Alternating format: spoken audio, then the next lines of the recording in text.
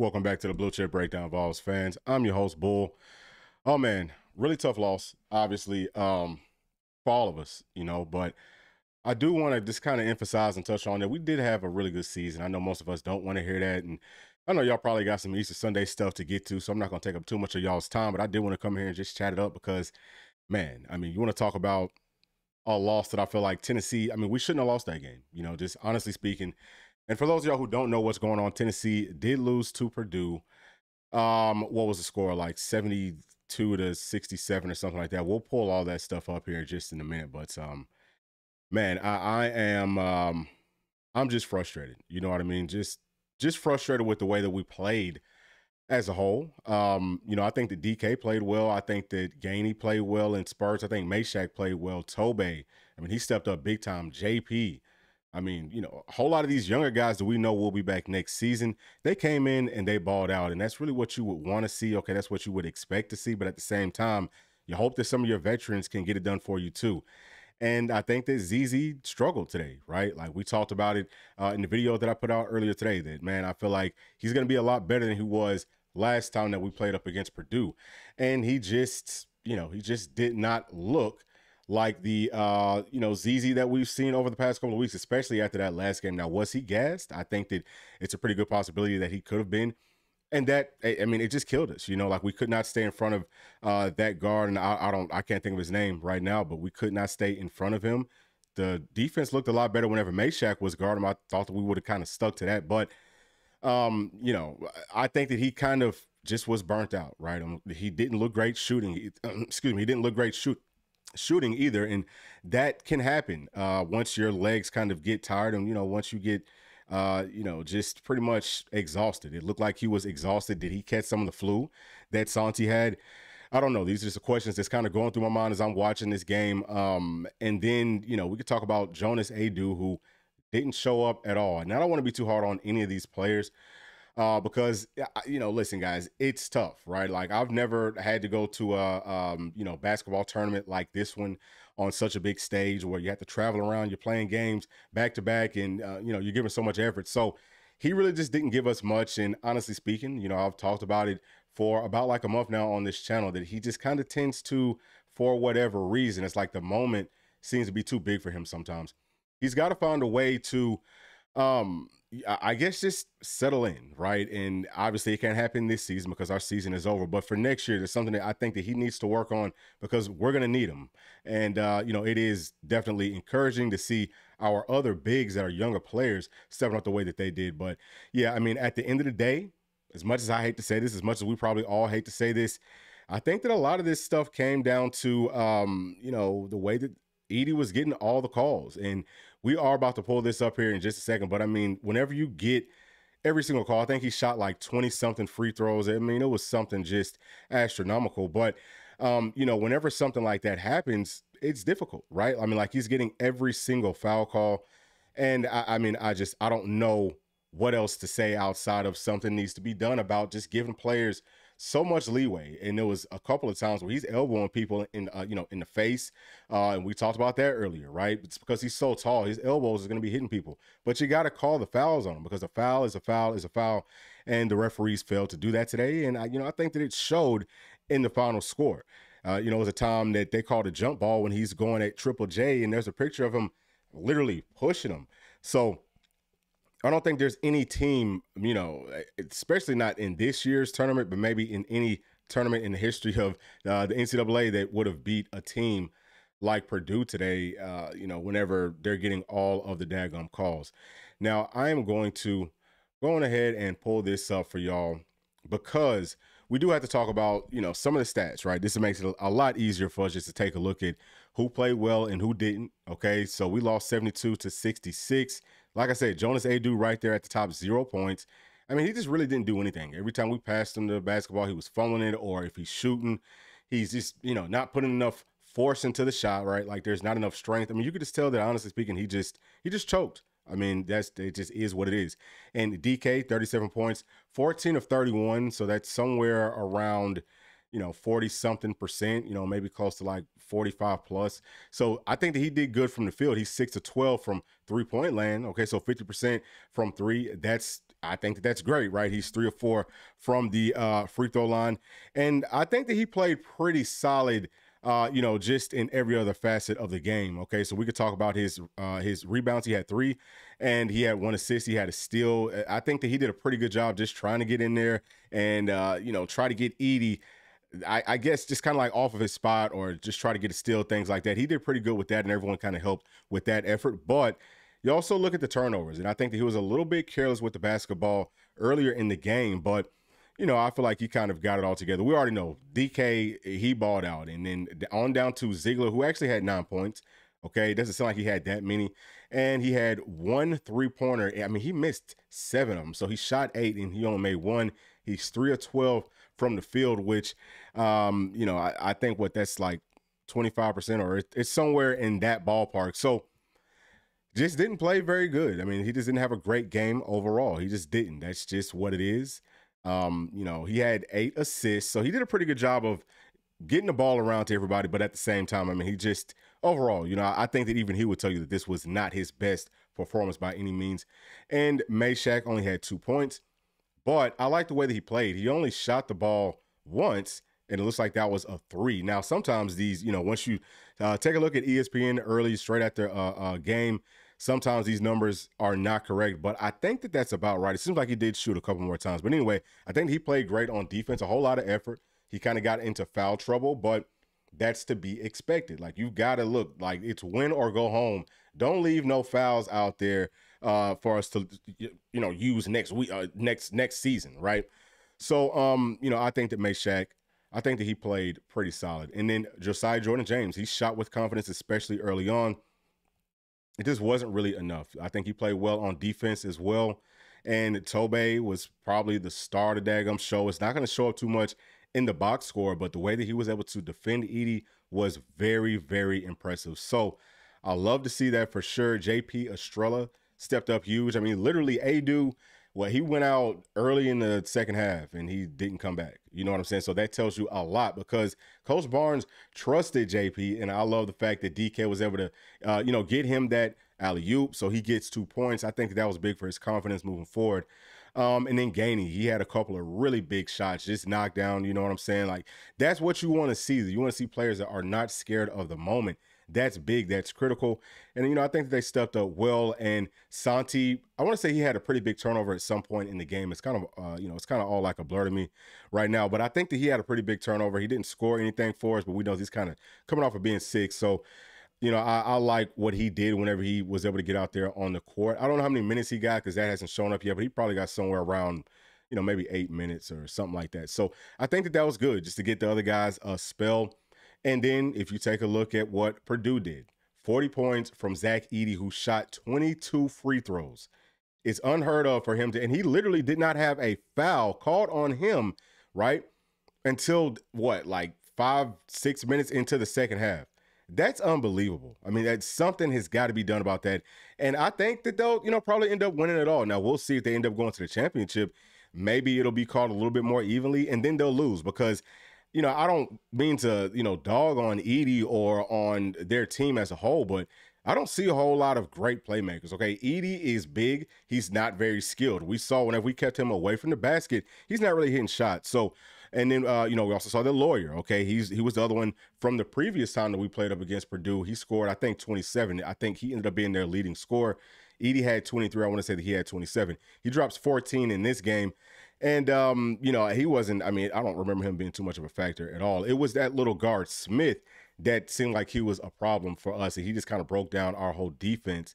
Um, so you know, it just is what it is, man. They shot 45% from the field, only 20% from three. So we did a pretty good job of closing out there. 63% um, from the free throw line. We almost shot 40% and 42% from three. So I talked about it, man, in the uh, you know, I talked about it in the pregame. I said, man, look, if we can shoot at about 40%, then we are going to win this game. And we didn't. So that's not the only reason that we lost, like we just kind of touched on. It had a whole lot to do with several several factors, but I would say number one, it really has to do with um with the way that the game was called. I mean, just the, the referees did not give us the benefit of the doubt, and it's very difficult to play defense, basketball, period, if all the calls is going to one person. So I don't know, man. If y'all know some people who can, you know, who have some type of pull with the referees and things like that, then by all means, you know, I think it's time if y'all can set up like a, uh, you know, something for us to sign. I'll be happy to sign off on that because it sucks. This team with so many different, you know, so many veterans,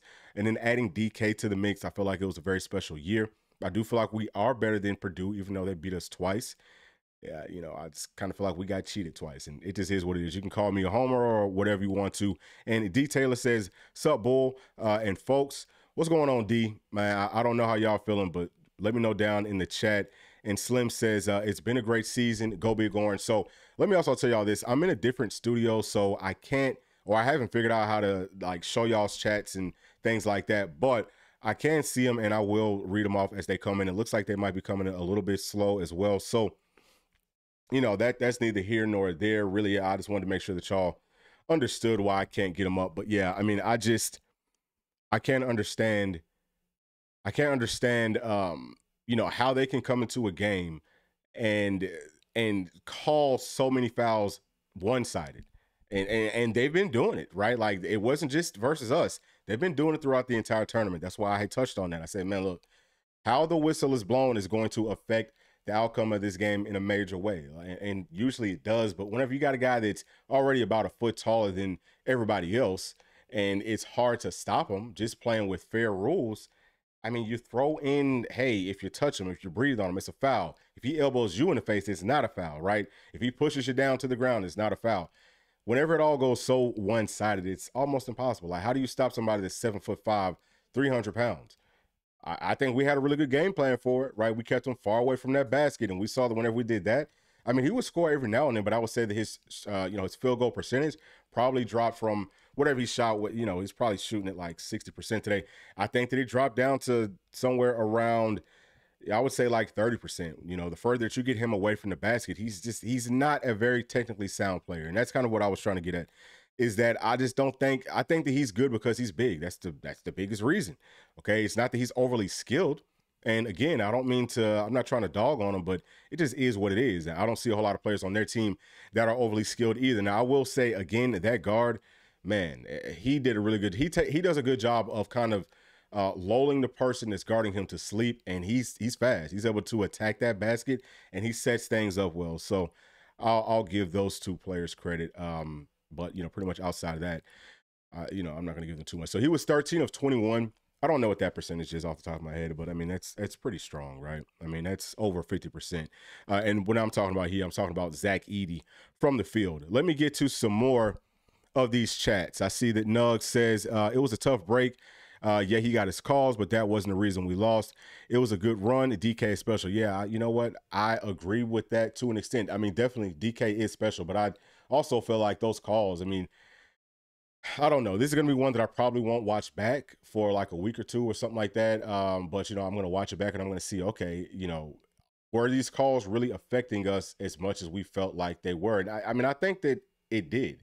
I think that that turned the game. Whenever it's two teams, even though I think that we're better than Purdue, it was kind of an evenly matched game, right? Like, I don't think that we were way better than them, but I do think that we're good enough to win the game. So if you throw something in there like that, again, where you've got somebody that's that big and that dominant, and you're giving them all the calls, you're getting your key playmakers in foul trouble. Um, and then, you know, there was a time when Tobe is going for a loose ball after we're playing good defense versus Edey, and that's called a foul. That was that was Tobe's fifth foul. You know what I'm saying? On a on a hustle play. It's stuff like that. And I mean, even though maybe that was a foul, but at the same time, you know that a player is uh already has four fouls and he's approaching his fifth. Why do you call it there? And a lot of the fouls leading up to that point were just very ticky tack. And Tobe was by far our best defender on Edey um, today. But you know, I think that JP was right there with him. You know what I'm saying? Like I think that he did a, a really good job. But I mean, he's he's young, right? So he's not going to be able to sustain that. If we could have had two players that could come in and continue to guard Edey, kind of, you know, like take turns and, you know, you go out there, you, you know, you go 110%, and then you can go over there, take, you know, like a five to 10 minute rest, something like that, and then you come right back. That would have been extremely beneficial for us, but you know we ended up losing Tobe, and uh, you know it was that was pretty much it after that, right? Just because we didn't do a good job shooting either. That's something else. Like we just didn't as a team. It kind of looked like, especially once we got down towards the end of the game in the second half, it was like, okay, well, DK bail us out. Um, and it was, wasn't a whole lot of movement on offense. Guys were just kind of standing around. Hey, look, we're going to stand around. We're going to set these screens and stuff for DK and then let him go to work. But he was tired. I mean, everyone was gassed. At this point in the tournament, everybody's going to be gassed. But we needed other players to step up. So, you know what, Nugs, I, I guess I can agree with you, right? Uh, to some extent, as far as, hey, that's really not the, that's, that's not the full reason of why we lost. There was other factors, and a lot of it was because, um, you know, we just didn't have guys hitting shots.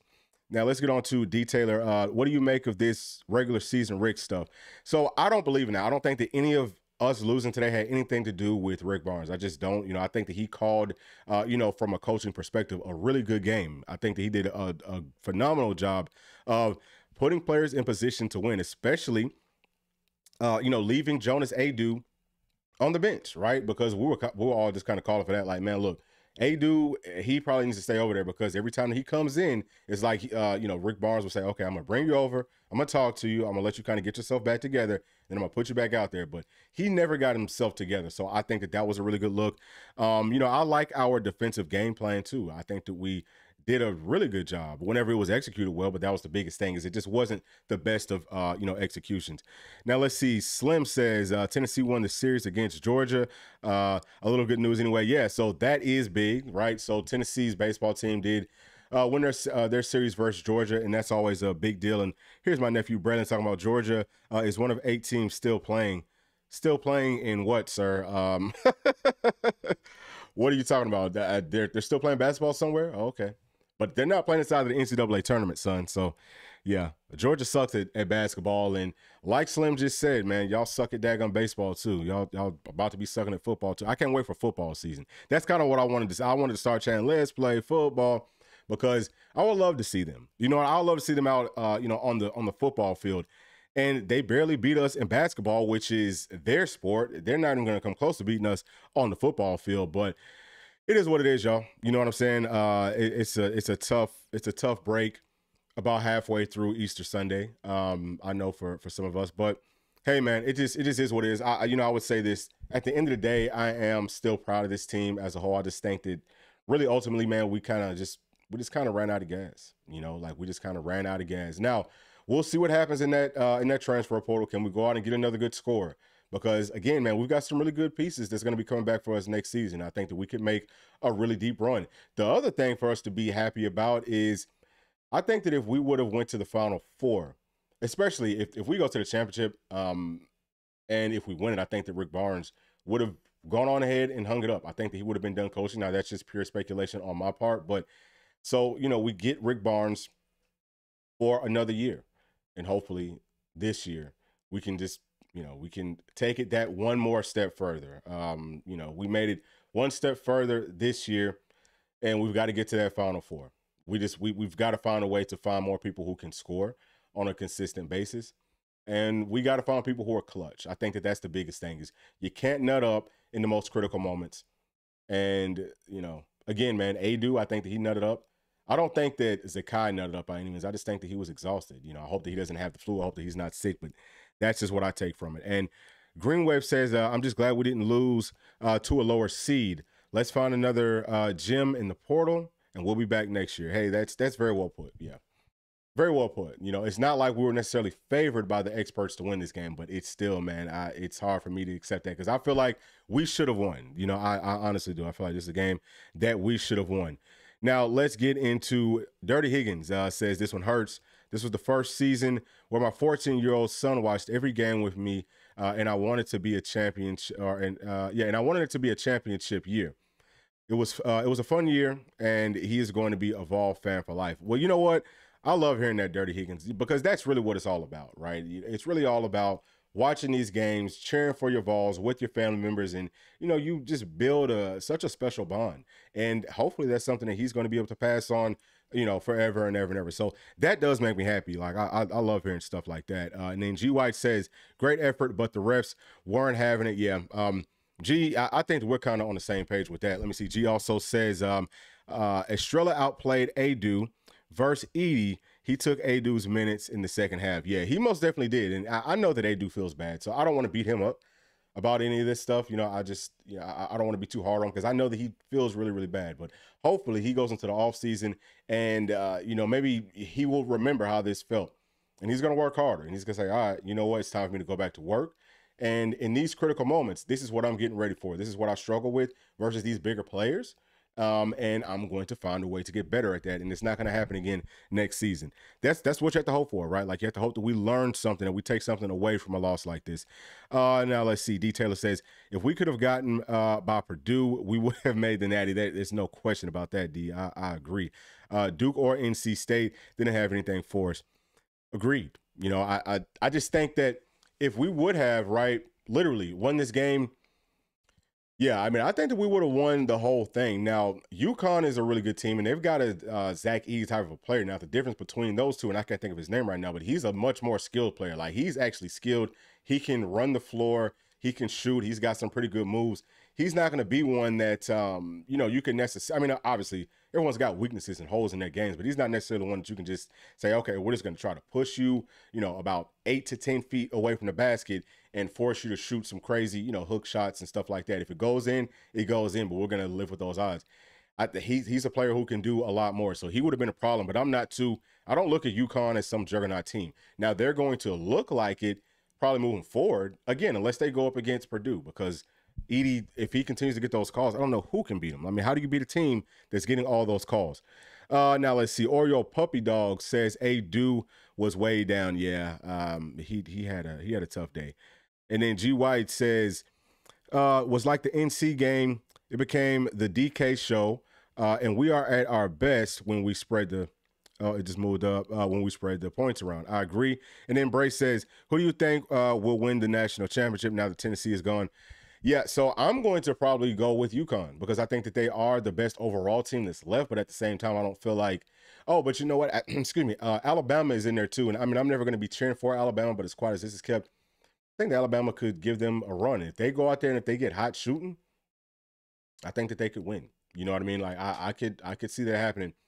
But um, you know, we'll we'll see how we'll we'll see how it all plays out. But yeah, I, I think that UConn from top to bottom is the best team. Whenever you talk about being able to do it all, play good defense, things like that, that's Alabama's problem is that they don't play great defense. They don't start playing defense until like the end of the game. So if they're close to you at uh, you know, towards the end of the game, I'll say with about five minutes left, it's gonna be tough uh, for you to beat them. You have to kind of take the hope out of them, take the fight out of them early on to be able to win those games. And I've got the NC State Duke game on right now. Duke is up 21 to 14 versus NC State.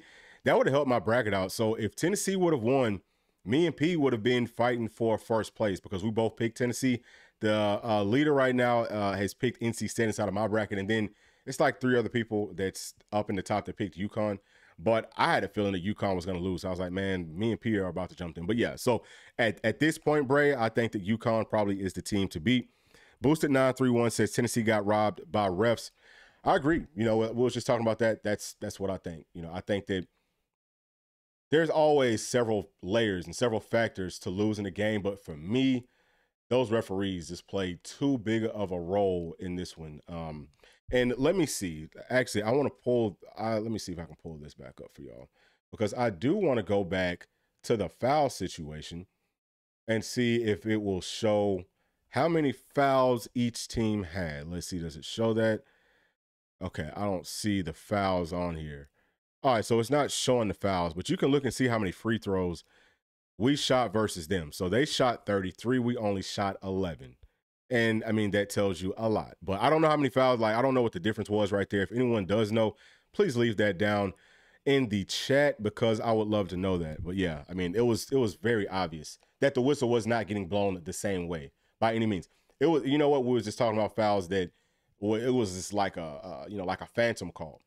But um, it was Triple J, right? Whenever he goes down, he uh, steals that ball from from Edey, and they call a foul on that. That was all ball. I'm, I, you know, we watched the back a couple of times. I'm like, well, where's the foul at? He jumps up, he hits the ball, it's all ball out of his hand. I don't see him making any contact with Edey by any means. So, really quick whistle whenever it comes to Edey, but they're very, very slow to call it. And actually, Edey pushes. I want to say that was Triple J too. He pushed him down on the baseline, and it took them like five seconds to blow their whistle on that. Like, what are you waiting, dude? If it's a foul, it's a foul. You've got to call it. So I agree. And uh, G White says this was NCAA payback at Tennessee. That's a great point. You know what? That's one. That's one factor that I had not thought about at all in this whole thing. That's exactly what it was. That's exactly, and that makes perfect sense. I think that that is what it was. But I'm gonna finish reading what you said, uh, what you were saying right here, uh, G. And he says Purdue is like their home team. Yeah, that that makes a whole. Oh, you know what? That actually makes a whole lot of sense because what the NCAA is in Indiana, right? Okay, very interesting point, G. Um, Boosted nine three one says we counted six over the bags on Edey, no calls. Yeah, so you know what? I also was just reading on social media and stuff as I'm kind of watching the game. People are counting Edey's time down in the paint, and they're like, "Oh man, like he was down there for ten seconds one time and no calls." That's that's insane. Now I wasn't counting that. That's not something that I usually count. But um, yeah, I mean, if, if that's true, I mean, something has got to be done. But we all know with the NCAA, you know, running this show right now, they ain't gonna do nothing to those referees. So that, that those are those are a couple of good points. Ethan says uh, at Braylon, probably Purdue, since they don't get any foul calls on them. Yeah, uh, yeah, agreed. Uh, Eric Funkman says Purdue owns Rocky Top. Sir, um, I can I can tell you this right now. Um, Purdue's football team. Uh, you know what? I, I, have a cousin who actually plays for uh, for Purdue, so I, you know, I'm not gonna talk about. It. But I'm gonna say this: Tennessee is a national championship caliber team, and I, I would love to. Uh, I would love to have the opportunity to play up against y'all in football, and you know, we'll see how y'all do, man. Once the game is called fairly, sir. We'll see. We'll see if y'all can win once the game is called fairly. Let's see what else we got. Um, Ethan says I knew we would lose after we let them come back from 11. That was that was the scary part because yeah, we had a, a great thing going at that point, right? And then just seemed like we just got gassed. And I think that Rick Barnes maybe should have tried to call a timeout at that point, right? Like kind of slow some things down. We need to get some breaks and rotate some people in because at that point, once you're up by that much, just play good defense, right? Just be able to stay in front of your guy. If you can do that, then yeah, I mean, obviously it would have been a completely different second half. But yeah, that was a little bit concerning to me. But I didn't think the was out of it literally until until we stopped fouling. Well, no, it, let me see. Once they went up by whatever five or six points, and it was like twenty something seconds left, I was like, oh man, you know, it's gonna take a miracle for us to come back. But I didn't really give up hope yet. Uh, but it is what it is, y'all. Now let's see. John Watts says Edey definitely fouled, but our guys could not buy a basket either. Yeah, that's that's exactly what it was. I mean, it was a it was a really bad combination of both of them two things, right? He's getting all the calls. He's going to the free throw line, and he missed several of them. But um, you know, I just I think we kind of started forcing it. Like it was a combination of us being tired and trying to force up shots, and that usually doesn't go well for you. And then it also turned into, like we said earlier, it also turned into people kind of standing around and waiting on DK to to be our savior. So I hope that we learn from that moving forward. People have got to be able to score. Everyone's got to be a shooter in those types of situations. Uh, boosted nine three one. Uh, it's disgusting to watch. Tennessee could have won the game. The refs made Purdue win. Uh, it's sick to go this far and get cheated, though. Yeah, that's that's the hardest part, man. Is you think about all the hard work that everyone put into this whole thing, and then you lose like that. But I don't think we. I mean, you know, like we didn't get blown out, so the loss could have been worse. And uh, like someone said earlier, it's not like we lost to a lower seeded team. So I think that uh, you know, for the for the most part, and I said this earlier, if you're just now joining us, I am proud of this team, and um, I think that Rick Barnes did a good job with this team. So I'm not, I'm not looking at, I mean, I'm not calling him regular season Rick like some people are are saying about him. I think he's fine. We just got to try to replicate what we did this year and just play with a little bit more confidence down that home stretch. Uh, now let's see right here. Eric Funkman says, "You did. We just whooped your butts in your backyard." Oh man. Eric Funkman, you are a funny, funny man. And I don't even I don't remember when y'all just whooped us. Um, because I don't what like when's the last time Tennessee played Purdue? That was that was years ago. Uh, years, years, years ago. If, if you're talking about football, anyway. But um, you know, where did y'all finish at in the Big Ten this season? Weren't y'all like dead last? So I don't think I'll be coming on here talking about other sports, sir. Y'all are a uh, basketball only school, so let's just let's just leave it at that. Uh, now let's take a look right here. Isaac Nunley says years ago. Uh, yeah. Um, I don't I don't remember the last time that uh that Tennessee lost to Purdue. Um, I mean that was that was years ago. if if you're talking about football, years ago. Uh, now let's see right here. G White. Uh, Rick was just uh too late calling timeouts. Eleven point lead. You call it when it's down uh, to six uh, to six point score by them. Yeah, um, I, I think that well, okay, so I will have to kind of say that he he did kind of mismanage his his timeouts. You know, I, I, would I will say that, but I mean, hey, nobody's going to be perfect. I, I, don't think that that was the reason that we lost. You could look at the execution. You, you could look at the way that the game was called. I think more so than what the actual game plan was. That's that's just for me though. Yeah, I don't think that Rick Barnes lost us this game. Um, and I, Isaac Nunley says uh, eight last year. Yeah, I, I think you're talking about um, talking about Purdue's football team. And uh, boss, I'm not gonna read that name. Uh, Aidoo was just pitiful. Yeah, Aidoo. Yeah, very, very, very tough game for him. Isaac Nunley says Purdue is trash. Boosted 931 says Purdue. Um, and I'm not gonna read uh, any more of the stupid stuff. Yeah, um, D, D Taylor's talking about the Music City Boy, uh, Music City Bowl in 2021. Yes, that that was that was that was years ago. Okay, it's now 2024. To uh to who was that talking? Uh to Eric Funkman. Yeah, that, that was that was a while ago, sir. Tennessee's a much better team now. H. Gerard says, uh, "Nice playing with you, Vols. Uh, we're on the Arizona." okay, I, am not gonna read no more y'all stuff. Hey, you know what? Isn't there a Purdue live stream for y'all to get on? Yeah, probably is. But see, this is why we don't. You know, this is why we don't like Purdue because y'all suck at everything right? I mean, y'all are trash at, at everything. You come out and you win a game after, okay, I mean, who played well for you outside of Edey? What, Loyer? Who else played well? Your team really is trash. Your your team has been the, uh, you know, y'all have benefited from the referees giving you all the calls. And I didn't want to take it that far with it, but if you want to just call a spade a spade, we could call a spade a spade. Y'all aren't a good team. Your scheme is uh, there's nothing that you're doing that uh, is overwhelming by any means. Outside of the fact that you've got to play the seven foot five, he's a foot taller than everyone else, and he gets all the calls. How are you going to stop that? It's very tough to do, but we'll see. Again, y'all play up against a team, and I don't care how big their players are because Edey is, you know, he's not going to be able to. It's not like you've got to be his size to stop him. All you got to do is just get him a little bit further away from the basket. He's not very skilled. So once y'all go up against the team and the game is called evenly, y'all are going to lose and you might lose by a pretty large margin. Okay. Uh, so y'all need to start getting ready for that. Y'all need to be, you know, y'all need to be looking more towards hoping and praying that y'all can win this next game because you can't look forward to football season. You can't look forward to baseball season. You don't have a whole lot to look forward to. So y'all just need to enjoy these moments. And I would recommend to do it in the company of your own fan base and, you know, not, not trying to be a uh, uh, troll on someone else's because come football season, just keep in mind, okay, those tables are about to turn pretty hard on you, okay? All right, so let me get to a few more chats here. Uh, let's see where we at. Where we at? Uh, Gregory Holmes says Vols for life. You already know. Um, what else we got? We got G White. Uh, it's a production year. Uh, we get further than any other team in 14 years. Success and proud of our guys. Absolutely, absolutely. Good vibe says we scored at the end, uh, and they did not give us a clear touchdown.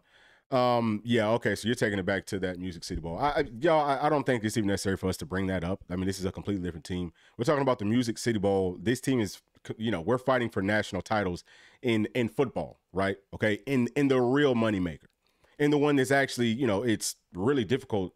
Okay, it's extremely difficult to get there, right? That's what our team is really good in. And you know what? Look, our basketball team, we're good at, at basketball too. We we played well this season. We had a good season. We just you know, it's hard to overcome a uh, you know, big giant and all of the referees and all the NCAA. So we'll be back next year though. I ain't even worrying about it. We'll be back. Green Wave says uh, 99.9% of humans on Earth do not know what or where Purdue is. Yeah, that's a really good question. What city is Purdue in? If someone could tell me, I will send you $25. You got five seconds, five, four, three, two, one. No one knows where it is. Okay. No one outside of Purdue fans, if you if you if you would have to look it up to know where it is. Uh, now let's get to a couple more. D Taylor says Louisville stole Brohm from y'all. Imagine losing the coach to Louisville. Yeah, it's it's hilarious. Let's see who this is right here. Okay, so it's Rome Baby says, I think next year we could possibly be a little bit better. So I'm happy that we did as well as we did. Uh, the refs were rough for sure, though. But us missing open jumpers was the problem. And yes, go big orange. I I do agree with that. You know, really at the end of the day, you can't blame it all on the refs. You got to be able to hit shots. And I think that if we would have done that, we still would have won this, even with the refs doing what they did. So, you know what? We're gonna end it on that note. I'm gonna let y'all go ahead and get you know and get back to y'all's Easter Sundays.